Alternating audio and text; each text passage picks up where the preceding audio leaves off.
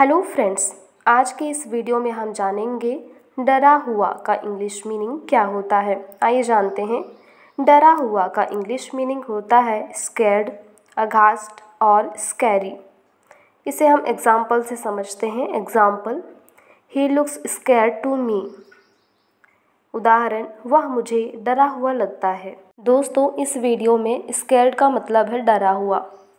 अब आप मुझे कमेंट बॉक्स में बताइए, साहसी होना का इंग्लिश मीनिंग क्या होता है? Thank you